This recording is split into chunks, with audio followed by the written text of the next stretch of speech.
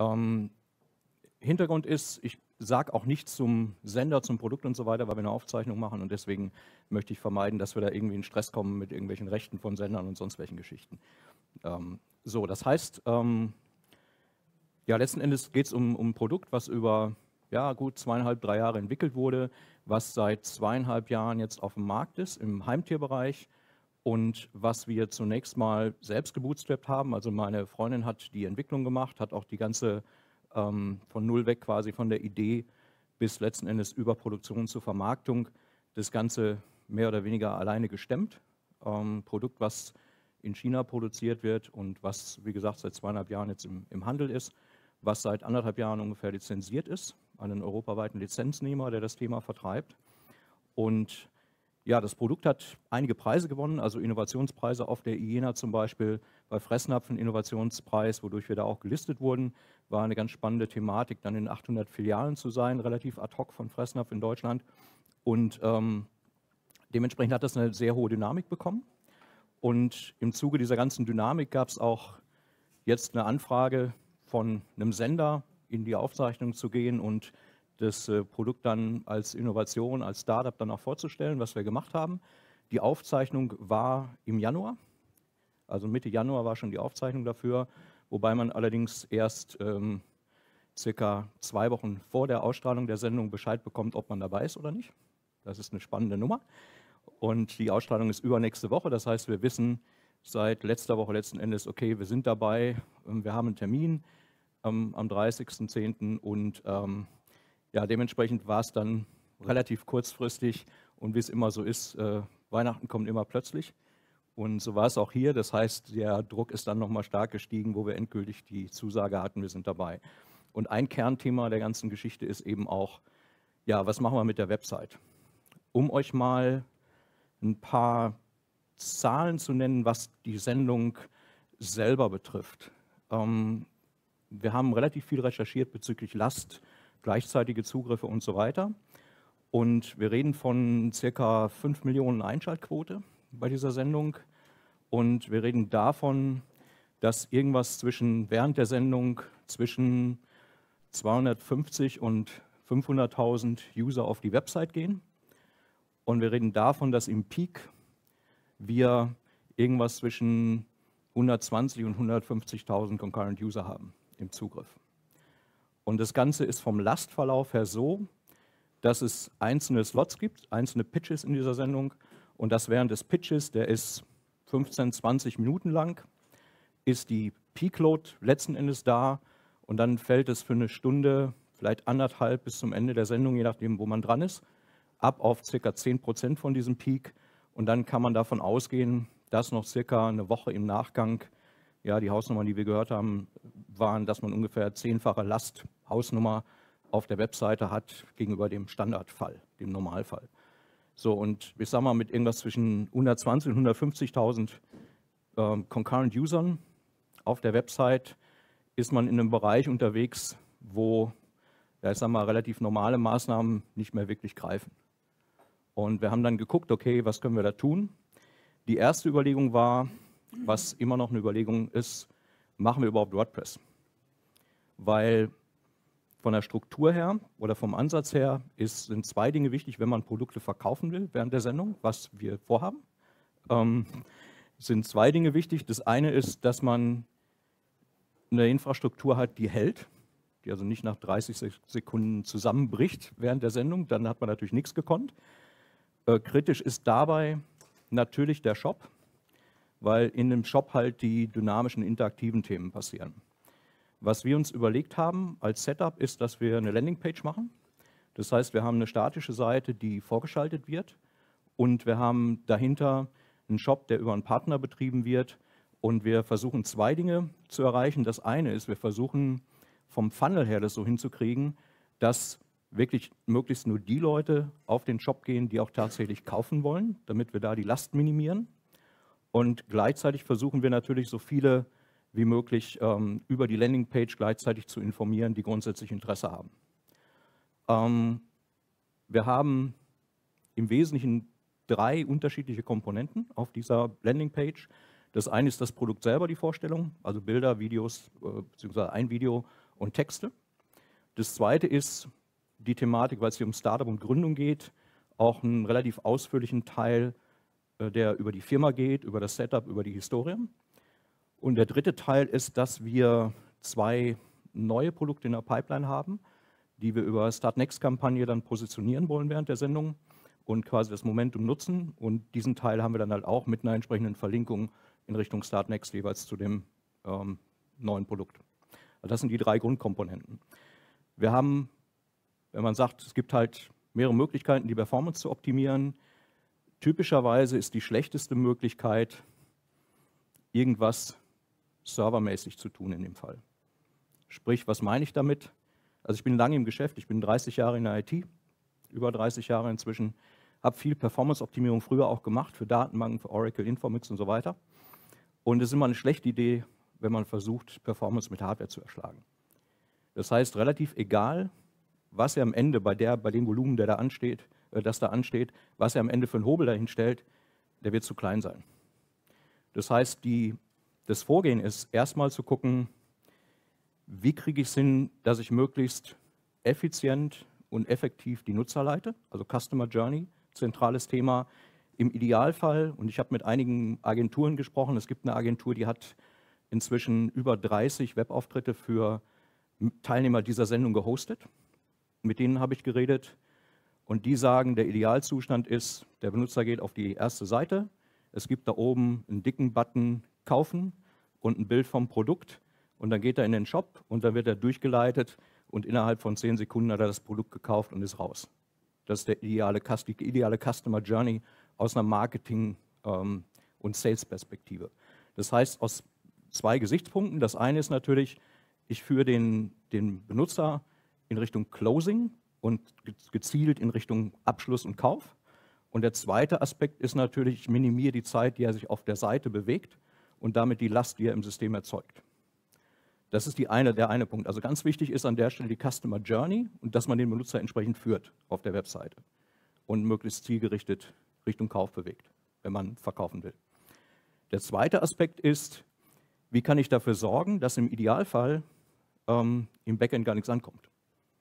Der Idealzustand ist, die Serverzugriffe gehen gegen Null. Äh, klingt erstmal nach einem hehren Ziel, ist aber durchaus realistisch was haben wir jetzt für einen Ansatz auf der, auf der Technikseite? Wir haben, wie gesagt, diesen Funnel im Sinne von Landingpage und Shop getrennt und entkoppelt. Der zweite Punkt ist, ähm, wir haben ein CDN vorgeschaltet, also ein Content Delivery Network. Es ist noch nicht hundertprozentig klar, was es wird. Wahrscheinlich wird es Cloudflare. Aber es gibt auch andere Alternativen, wie jetzt zum Beispiel Akamai, Verizon, Key CDN, was immer es da gibt. Im Endeffekt, mh, hm, sag mal, ist Cloudflare an der Stelle, die haben die höchste Verbreitung, die haben weltweit 100, knapp 160 Rechenzentren. Und der Punkt ist an der Stelle, für jemanden, der das CDN-Konzept nicht kennt, es gibt Points of Presence in verschiedenen Ländern, die idealerweise sehr nah am Benutzer sind. Und die Inhalte der Webseite werden verteilt über das CDN an sämtliche Points of Presence und werden dadurch vorgehalten und gecached, sodass einer, der zugreift, ein Benutzer, der zugreift, auf irgendeinem in dem Fall Cloudflare Data Center landet, von da die Inhalte geliefert bekommt und damit überhaupt nicht auf unserem Server landet. Das heißt, ich richte im Backend den Server schon so ein, dass alles auf das CDN repliziert wird. Das CDN selber ähm, hat eine automatische Verteilung über sämtliche Points of Presence, die ich auch noch steuern kann, wenn ich will. Ich meine, wir erwarten nur Traffic letzten Endes aus Deutschland, Österreich und Schweiz. Also in Brasilien oder Australien oder sonst was ähm, wird sich die Sendung wahrscheinlich keiner angucken, ist eher unwahrscheinlich. Das heißt, wir könnten, wenn wir wollten, sagen, wir machen nur Deutschland, hat aber nicht wirklich einen Mehrwert für uns. Also ist weder günstiger noch besser noch irgendwas anderes. Ein zweiter Punkt, der für uns wichtig ist bei dieser CDN-Integration, ist das Thema, dass wir dynamisch entwickeln wollen. Das heißt, wir wollen wie ich das aus IT-Projekten so gut kenne, bis zum letzten Moment in der Lage sein, noch irgendwas zu verändern, an der Seite zum Beispiel oder so. Das heißt, ein weiterer mm, Aspekt ist halt, dass das CDN eine gewisse Zeit braucht, um sich aufzusynchronisieren, also bis zu 24 Stunden typischerweise. Das heißt, wenn ihr irgendwas reingebt, dann dauert es bis zu 24 Stunden, bis es auch tatsächlich irgendwo überall verfügbar ist. Und das muss man mit berücksichtigen, wenn man solche Dinge tut. Das heißt, wenn wir sag mal, zwei Stunden vor der Sendung jetzt irgendeine Änderung machen würden, dann würden die Änderungen höchstwahrscheinlich nicht mehr ankommen im CDN und damit äh, würden die alten Inhalte als halt serviert. Bei dem Einsatz von CDNs gibt es einen Knackpunkt und der Knackpunkt ist, ich kann sehr gut statische Inhalte verteilen über ein CDN. Ich kann überhaupt nicht dynamische Inhalte verteilen.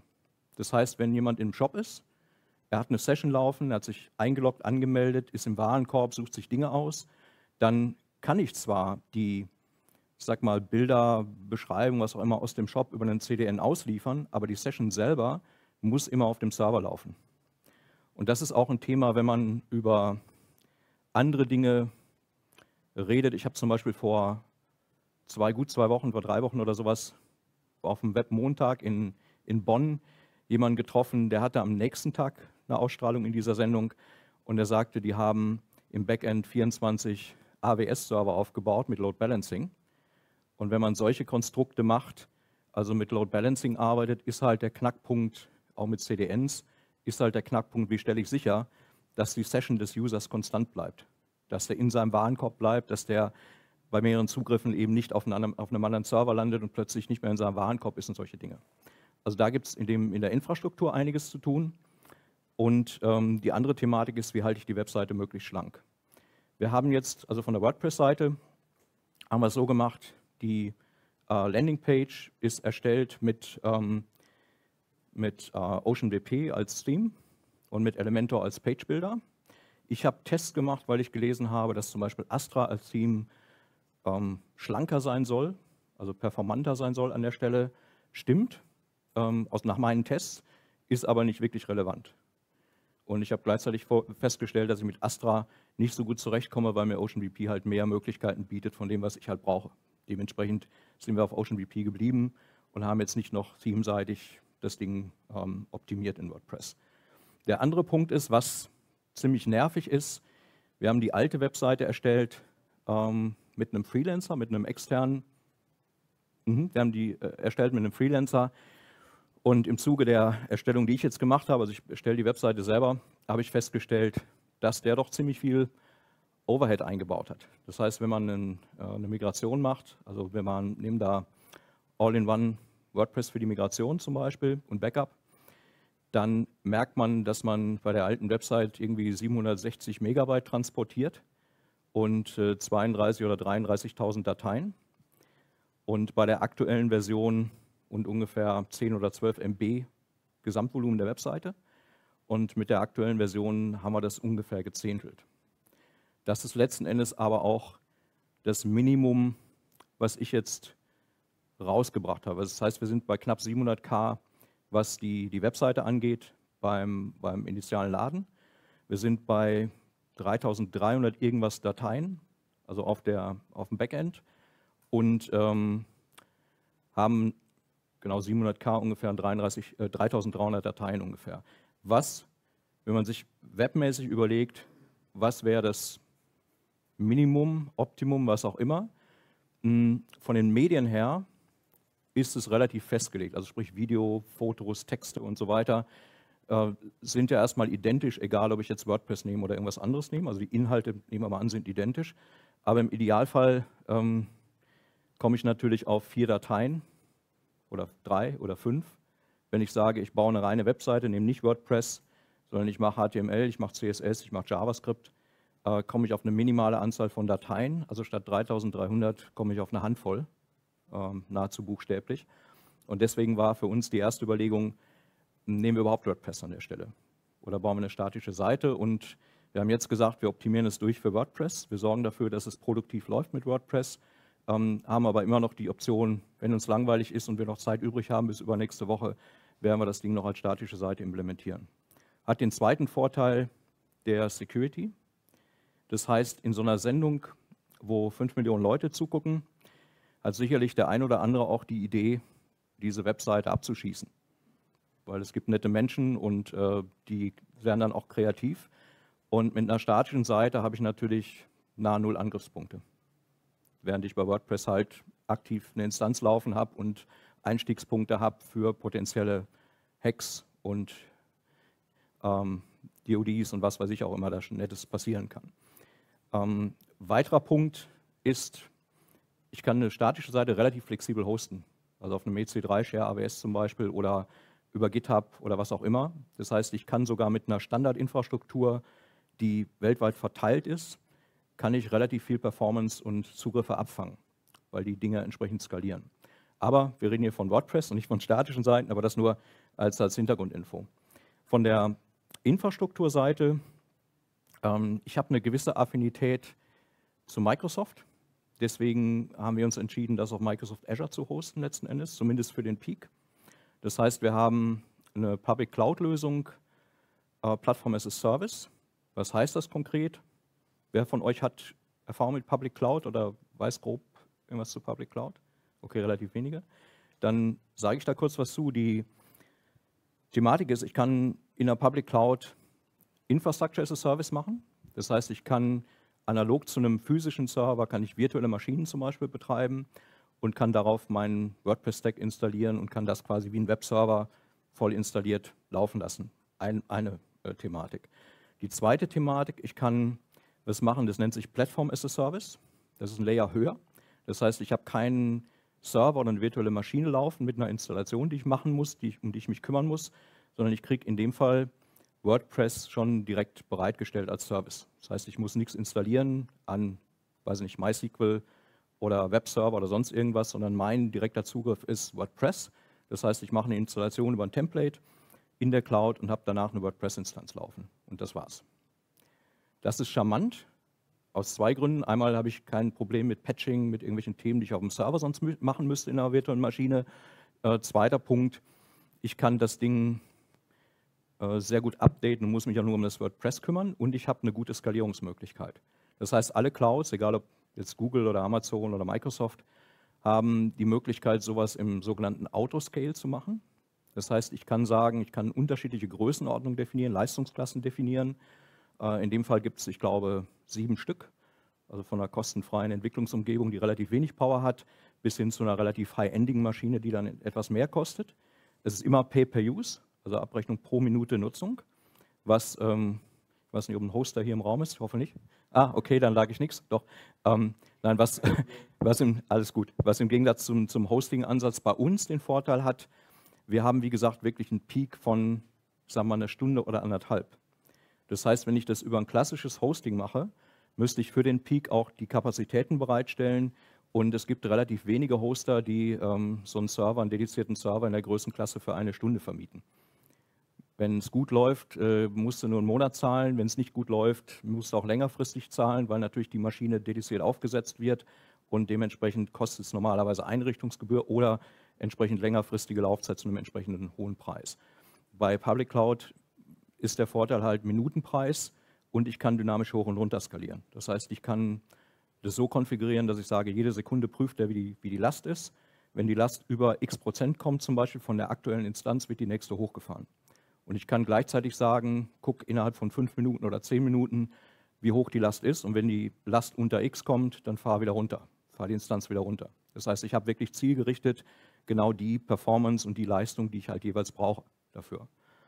Ähm, hat natürlich auch Nachteile, muss ich auch ganz klar sagen. Das heißt, wenn ich konstant eine Last X habe, dann bin ich mit einem Standard-Hosting günstiger unterwegs als mit einer Cloud-Lösung typischerweise. Und ich bin auch simpler unterwegs, weil ich halt ähm, einen entsprechenden Service kriege, typischerweise bei den Hostings, äh, bei den Hostern auch WordPress-spezifisch, was ich halt in der Public Cloud mehr alles selber ähm, machen muss.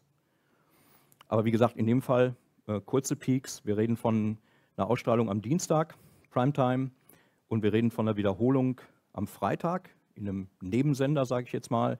Und wir reden davon, dass über Video on Demand auch noch was zwischendurch kommt, wobei ich jetzt gelernt habe von der von der Agentur, die die Betreuung da macht, von den diversen Shops und so, dass man eigentlich diese On-Demand und Wiederholung der Sendung vergessen kann, was Lastspitzen angeht.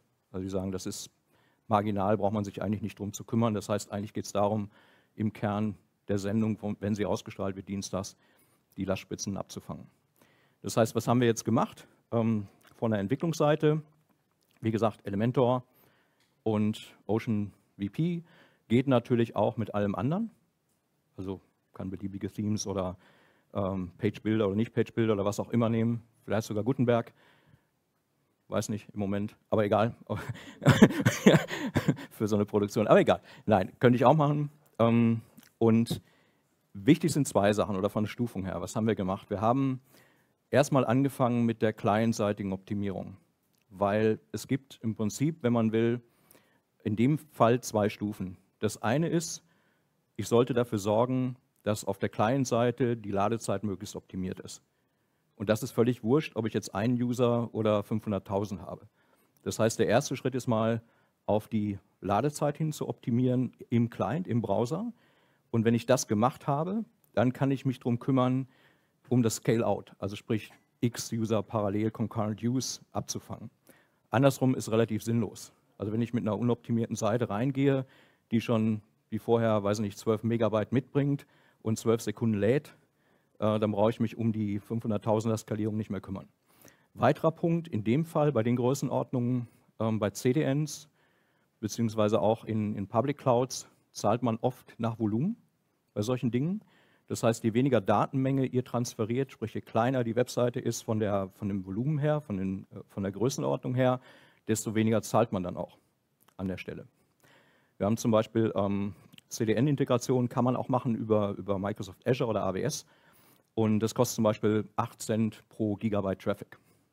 Das heißt, wenn ihr jetzt äh, sagt, okay, wir haben potenziell über die Woche vielleicht ein paar Millionen User, dann ist das durchaus ein Faktor. Also ich habe mal hochgerechnet jetzt mit äh, 5 Millionen Usern und komme auf knapp 300 Dollar an Kosten über die Gesamtlaufzeit. Das ist natürlich, wenn ihr bei 700k sind wir jetzt Kilobyte äh, der, der Größe. Wenn ihr die Größe halbiert oder verdoppelt, dann halbiert sich oder verdoppelt sich natürlich dann auch dieser Kostenfaktor. Also da muss man auch bei den Volumen, die da anstehen, auch nochmal darauf achten. Äh, Cloudflare in dem Fall ist, wir haben eine kostenfreie Variante gewählt. Das heißt, da zahlen wir keinen Volumentarif an der Stelle, sondern die machen das for free, weil die ein Freemium-Modell haben und darauf setzen, dass man halt Upgrades bezahlt und dann über eine entsprechende Monatspauschale oder kostenpflichtige Module dann die Kohle reinkommt. Das heißt, Seite optimieren heißt vor allen Dingen erstmal gucken, was mit der Seite los. Da gibt es halt unterschiedliche Varianten. Das eine ist über Browser-Tools, also sprich Developer-Tools in Firefox, in Google Chrome. Vielleicht ähm, von den Browsern her, wir haben nichts gemacht in Richtung Rückwärtskompatibilität, also Unterstützung von, keine Ahnung, Internet Explorer 6 oder irgendwie solche Späßchen. Ähm, nee, machen wir nicht. Wir setzen auf auf aktuellen Versionen und die, ich sag mal, das Profil in dieser Sendung ist zum einen äh, 80% Mobile beim Zugriff. Das heißt, die Leute sitzen vorm Fernseher, die haben ihr Smartphone in der Hand, die sehen das Produkt oder sehen irgendwie den Pitch und sagen, ah, ich gucke mal eben nach. Oder vielleicht haben sie ein Tablet, aber jedenfalls haben sie typischerweise keinen Laptop oder einen Desktop irgendwie da rumstehen im Wohnzimmer und, oder im Schlafzimmer, was weiß ich, wo man so guckt. Ähm, und äh, gehen dann irgendwie in den Desktop. Das heißt, wichtig ist für uns in dem Fall ganz klar Responsive und Mobile Support, ganz wichtig. Hm, wenn man sowas wie Beaver Builder oder Elementor nimmt als Page Builder bei uns, hat es den Charme, dass es A schon responsive entsprechend gemacht wird und dass man auch in der Lage ist, über eine Umschaltung des Modus auf äh, Smartphone bzw. Tablet genau zu sehen, wie sich die Seite darstellt. Also es gibt dann so Späße, dass man ähm, irgendwie plötzlich auf dem Smartphone Dinge nicht mehr zentriert hat, weil die Umbrüche anders sind auf der Seite und solche Geschichten. Und das kann man zum Beispiel in dem Fall mit Elementor relativ charmant alles sich angucken und dann eben auch korrigieren. Man kann dann auch gezielt Elemente rausnehmen, wenn man sagt, ich habe hier keine Ahnung, irgendwelche wilden Bilder, die möchte ich nur auf dem Desktop zeigen oder auf dem Laptop, aber nicht unbedingt auf dem Smartphone. Die kann man dann rausnehmen, dass die im Mobile-Modus nicht gesetzt werden. Und alles, was dazugehört zum sag mal, CSS und zur Aussteuerung, Media Queries und so weiter, wird halt automatisch dann über den Page-Builder gemacht. Das ist der Charme gegenüber einer statischen Seite, die ich ausprogrammiere mit AMP oder mit, mit ähm, HTML, CSS, JavaScript. Da muss ich mich um die Dinge natürlich selber kümmern oder ich nehme ein Developer-Framework äh, wie, wie ähm, Bootstrap oder Vue.js oder was auch immer es da so gibt oder Angular aber dann bin ich halt auch in der entsprechenden Komplexität unterwegs mit JavaScript. Ja, so das heißt, frontseitige Optimierung, ähm, Developer-Tools in den Browsern ist ein Thema. Es gibt noch zwei schöne Webseiten. Es gibt eine Webseite für Performance-Messungen, die ist ziemlich aussagekräftig. Die nennt sich ähm, webpagetest.org. Die ist eigentlich so der Marktführer in Anführungszeichen, also kostenfrei. Und äh, bei der Seite habe ich den Charme, ich kann definieren, von wo zugegriffen wird. Also die haben eine weltweite Serverinfrastruktur und ich kann sagen, ich möchte zum Beispiel mal einen Zugriff auf Dallas, Texas simulieren, wenn ich glaube, dass ich einen USA-User habe und kann so Themen damit auch wie Latenzen über weitere Entfernungen mir angucken, was die für einen Impact haben. Ich kann auch die Bandbreite vordefinieren, das heißt, ich kann auch schmalbandige Leitungen simulieren und ich kann den Browser vordefinieren, sodass ich halt mit diesen drei unterschiedlichen Dingen spielen kann und genau gucken kann, was passiert, wenn einer mit einem Chrome aus Dallas mit 9600 Kilobit zugreift. Dann wird er wahrscheinlich erstmal gar nichts sehen, aber ähm, nur als Beispiel. Also sprich, da habe ich viele Möglichkeiten. Und gleichzeitig gibt mir das Tool eine sehr ausgefeilte Analyse der Seite, also ein Waterfall-Diagramm über sämtliche Komponenten, die geladen werden. Also Größe, Zeit ähm, und was wann wie geladen wird, wie groß es ist und so weiter. Also ich kann sehr dediziert gucken, wie groß sind meine Bilder, ähm, wie lange brauchen die zum Laden, wie ist die Sequenz und so weiter. An der Stelle Bilder, ja, wie soll man sagen, ähm, so klein wie möglich, aber nicht kleiner, ist die Devise. Also das heißt, ich muss einen guten Kompromiss finden zwischen der Dateigröße am Ende des Tages und der Darstellung. Also wenn ich, äh, ich sag mal, JPEG-mäßig das durchoptimiere mit 10% Qualität und ich kann nur noch schemenhaft irgendwas erkennen auf dem Bild, habe ich natürlich nichts gewonnen, habe ein minimales Bild, aber ähm, am Ende des Tages sehe ich nichts drauf, nicht gut. Andersrum, wenn ich sage, hey, ich mache die, die Formate direkt aus der High-End 45 Megapixel Kamera und lade die halt eins zu eins hoch und habe dann meine, keine Ahnung, 5, 8, 10 Megabyte großen Bilder, wird es auch schwierig, weil dann sehe ich auch nichts mehr, weil die so lange zum Laden brauchen, dass nichts ankommt. Also sprich, ich muss irgendwo einen Kompromiss finden zwischen Größe und ähm, dem, was letzten Endes noch erkennbar ist oder der Qualität des Bildes. Ja. Welche Tools habt ihr da eingesetzt? Also Photoshop reicht ja dann wahrscheinlich nicht aus. Ne? Dann gibt es danach einfach nur einen Step, den ihr dann gefahren seid, um noch weiter zu komprimieren. Oder sogar im WordPress selbst. Gibt es da eine Möglichkeit, weiter zu Ja, also es, zum einen ähm, Photoshop, also ich nehme tatsächlich Photoshop, weil ich Hobbyfotograf bin und viel mit Photoshop arbeite, also für die erste Optimierung der Medien. Es gibt dann weiterhin noch das Thema, dass ähm, man Plugins hat, die nochmal cachen, die auch optimieren, sowas wie Autoptimize zum Beispiel. Oder wir haben im, im Caching-Bereich ähm, WP Super Cache im Einsatz und ähm, von, von Automatic direkt. Und dann gibt es noch Möglichkeiten, ähm, zum Beispiel auch komprimiert zu übertragen. Also kannst zwischen Server und Browser kannst du GZIP komprimierte Übertragung einstellen, konfigurieren, ähm, entweder über einen Webserver direkt oder über, über ein äh, Plugin.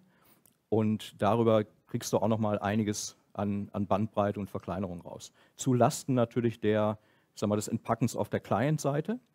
Also man muss ein bisschen aufpassen, was kommt am Ende beim Browser an und wie viel Last lege ich dann auf das Zielsystem. Also insbesondere, wenn ich Mobile Phones habe, die vielleicht ein bisschen schwach auf der Brust sind, ist das durchaus ein Faktor. Also wenn ich da irgendwie ein Dutzend Apps laufen habe auf meinem Mobile und dann kommt die Seite, wo ich erstmal einen riesen äh, Power in der CPU brauche, um die zu entpacken, ist auch schwierig. Also auch da muss man einen gewissen Kompromiss finden zwischen der Optimierung im Backend und der Last, die ich dann letzten Endes auf dem Browser oder im Frontend generiere. Ja. Ja.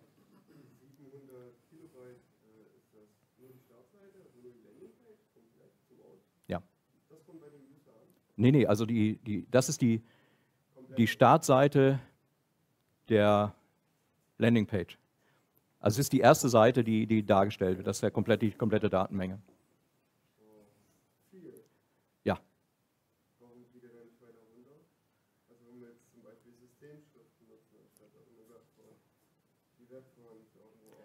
Klar. Also der, der andere Schritt wäre, ähm, wirklich runterzugehen, nochmal auch eine statische Seite zu bauen, das durchzuoptimieren und so weiter. Also das sind, da sind wir aber jetzt auch noch dran. Also wir sind erstmal jetzt, äh, Sonntag ist die Setzung, dass wir komplett in Produktion sind, also ready to run sozusagen, jetzt Ende der Woche, äh, sprich morgen, und ähm, dann in der nächsten Woche noch weitere Tests und Optimierungen zu machen. Hm? Das Tool, was du äh, gesagt hast, hier Website-Test, mhm. kommt ja direkt von Google, wir nutzen es auch. Mhm. Und wir haben halt gesehen zum Beispiel, dass unsere Konkurrenten, die besser ranken, nur rein performance-mäßig System haben. Und das mhm. macht halt schon viel aus. Man kann ja danach noch eine, äh, nachladen lassen. Aber für den initialen Aufruf, dass man da halt die Last weg hat. Ja, wobei am Ende des Tages ähm, ist dann die Frage Darstellung versus Last ein Stück weit. Also es ist nicht, es ist nicht wirklich, wirklich viel Delta, also in unserem Fall ist es jetzt nicht viel, viel Delta, was da wirklich rauskommt. In, in, also bei dem Laden jetzt der Fonts zum Beispiel, der, der Google Fonts oder so. Ja. ja. ja ich wollte noch sagen, bei den, ähm, bei den Bildern, was ich gefragt hatte, aber ich habe super Erfahrung jetzt bei, bei Rayfox auf der Seite Bilder, ähm, erstmal über, also erstmal über Photoshop selbst zu komprimieren, so wie du auch. Mhm. dann eben nachher noch über Tiny View äh, mhm. kommen zu gehen, das ist auch ziemlich geil. Da mhm.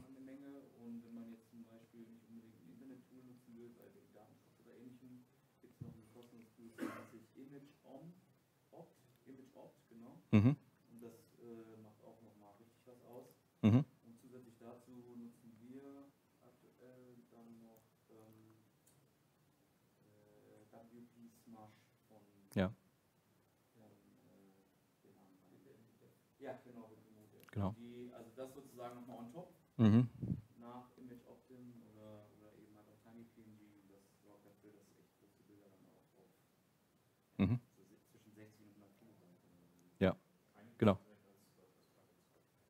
Äh, ja, ja, genau, aber das ist dann kostenpflichtig.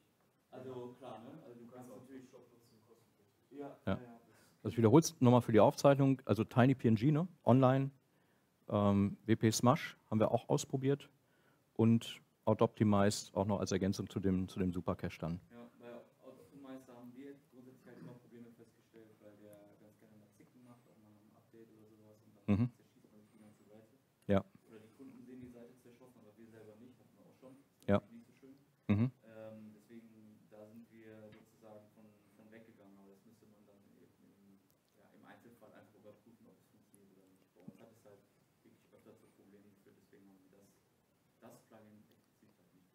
Ja, also wir vielleicht zu den Plugins, wir haben, oder beziehungsweise ich habe auch geguckt, was hat eine möglichst hohe Verbreitung erstmal. Also ich würde jetzt kein, in dem Fall kein Plugin einsetzen wollen, was irgendwie 50 Mal installiert ist oder irgendwie sowas. Und was ich auch festgestellt habe, weil ich viel ähm, Cross-Backend unterwegs bin. Also ich habe zum Beispiel in, in Azure eine Instanz laufen, die läuft auf Windows und IIS. Ich habe eine andere Instanz laufen, die läuft auf Linux und Apache zum Beispiel. Und ich habe festgestellt, dass es durchaus Plugins gibt, die Apache voraussetzen und dann zum Beispiel in die .htaccess direkt reinschreiben wollen. Wenn du natürlich ein IIS Windows laufen hast, dann gibt es die nicht, hat auch keinen Effekt, weil das Ding heißt dann web.config im Backend und da sind mir durchaus ein paar Sachen um die Ohren geflogen. Also da muss, aber wenn ihr auf sag mal, Linux, Apache seid oder Nginx, denke ich mal, ist das nicht so kritisch. Windows ist immer schwieriger. ja, sorry.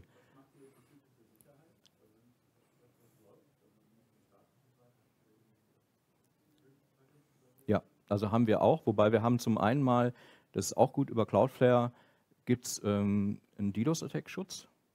Der ist praktisch integriert. Also das war eine Sache, die uns äh, wichtig war. Und ähm, auf der Security-Seite, jetzt im Moment aber nicht den, den Namen parat, aber ja, da, da machen wir auch was im Backend. Ja, ja.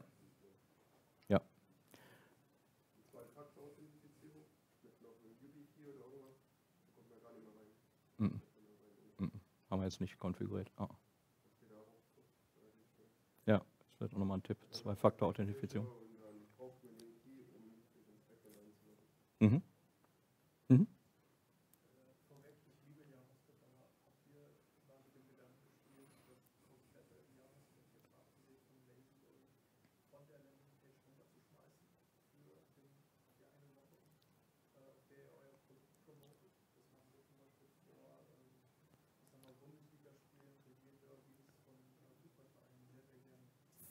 JavaScript runterschmeißen mit welchem Ersatz für aktive Komponenten oder?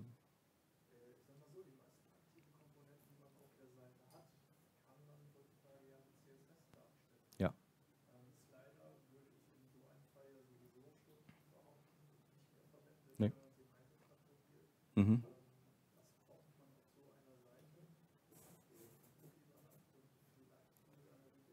Mhm. Nix. Und das ist halt genau die Überlegung, die wir auch haben, weil wir gesagt haben, wir wollen möglichst schnell entwickeln und haben deswegen auch WordPress, Elementor und so weiter genommen. Ähm, gleichzeitig ist natürlich der Punkt, ich habe einen extrem hohen Overhead, den ich mitschleppe. Also wie am Anfang schon gesagt. Und deswegen ist die Überlegung, das wirklich, wie du jetzt auch sagst, komplett runterzustrippen. Wir haben praktisch keine Komponenten, also wir brauchen keine JavaScript-gestützten Komponenten großartig. Das heißt, mit HTML, CSS könnten wir prima auskommen. Und das ist die Überlegung. Für uns ist im Moment halt einfach die Frage, äh, kriegen wir das zeitlich hin? Bis über nächsten Dienstag. Ne? Das ist der einzige Punkt. Sonst auf jeden Fall, ja. Ja, mal. Mhm.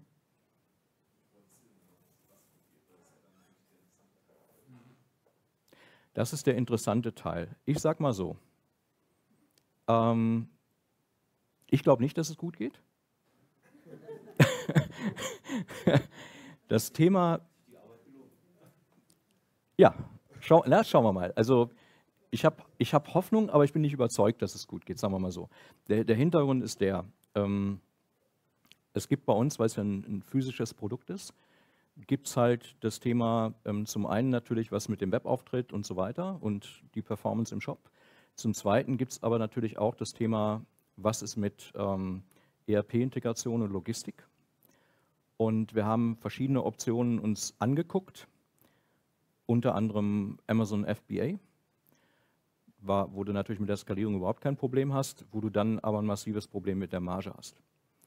Also wenn es nicht gerade ein extrem hochpreisiges Produkt ist, was unseres nicht ist, dann äh, fährt uns das die Marge so sehr in den Keller, dass wir es eigentlich mehr oder weniger auch vergessen können.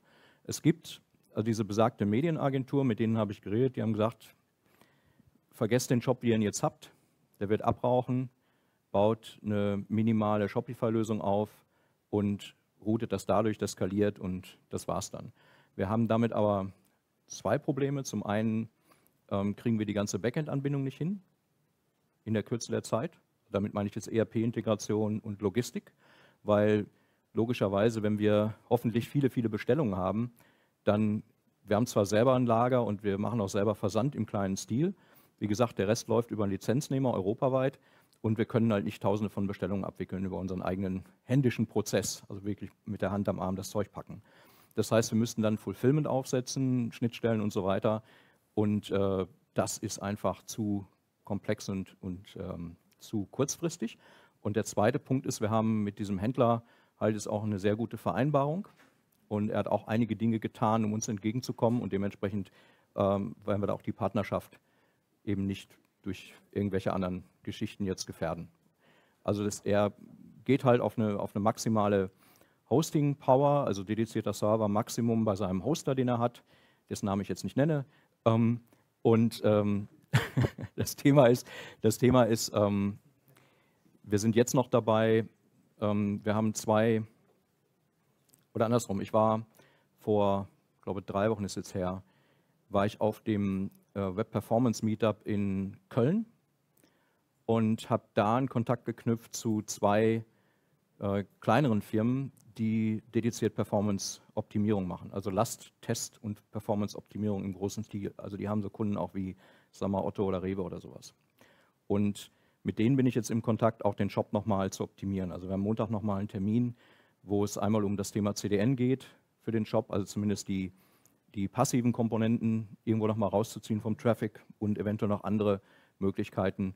Aber da sind wir klar begrenzt. Also sprich, guter Punkt, Mario, wenn ihr hinten einen Shop laufen habt, ist das sicherlich der Fokuspunkt, auf den ihr euch ähm, konzentrieren solltet bei der Performance-Optimierung. Das ist ein, bei dem Partner ist es ein Gambio-Shop. Gambio. Ja. Ja. Mhm.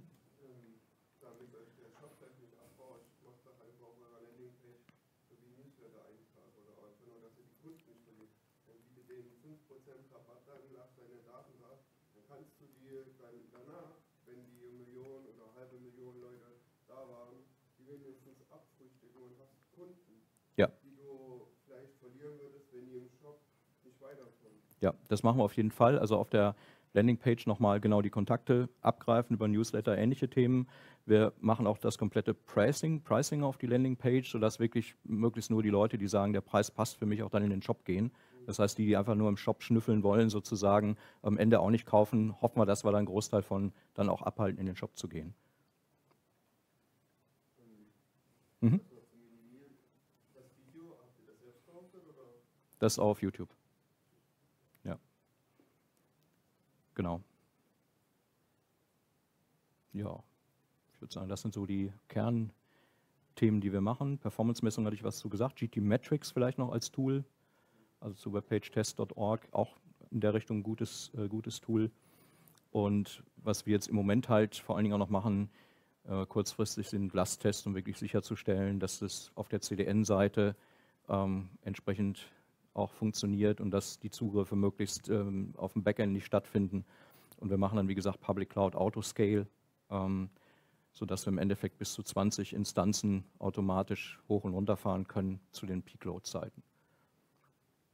So als Konstruktion. Bitte? Die Datenbank läuft getrennt, aber der Punkt ist, durch das, äh, durch das Caching dann auch auf der WordPress-Seite sollten wir da möglichst keine großartigen Zugriffe mehr haben. Bitte? Okay, aber das ist ja nicht auf der Landingpage, das ist ja dann auf dem, auf dem Shop. Ja, genau. Also wir haben praktisch die Kaskade, wir haben das CDN, wir haben dann äh, WordPress-mäßiges Caching, äh, browserseitiges Caching entsprechend konfiguriert und wir haben dann ähm, Autoscaling in der Cloud für die für die eigentlichen Instanzen. Mhm. Tracking von?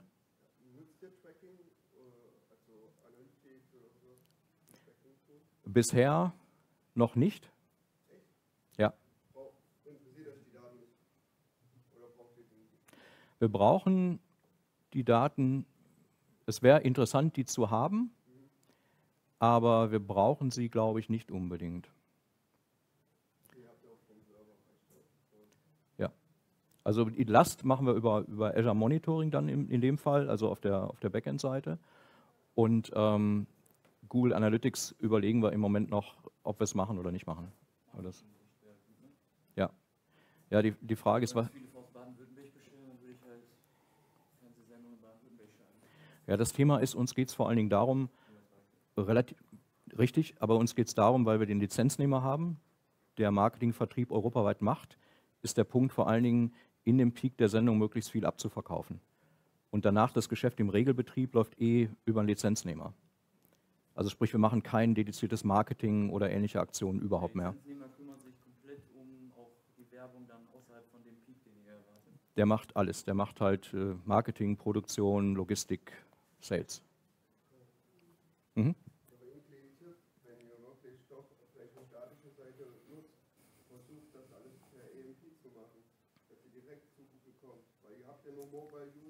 Ja. Die meisten googeln da.